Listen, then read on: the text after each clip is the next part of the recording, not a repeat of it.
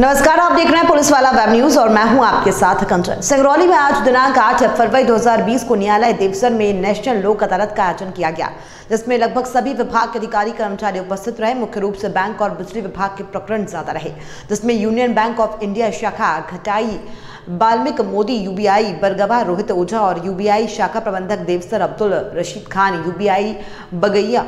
राजीव कुमार के अलावा एमजीबी शाखा, चितरंगी और कथुआ के शाखा प्रबंधक लोक अदालत में उपस्थित होकर लोन संबंधित प्रकरणों में हितग्राहियों से वसूली की। जाकर समझौता पकड़ तैयार कराया गया और समय समय पर लोन जमा करने के बारे में भी लोगों को समझाइश दी गई।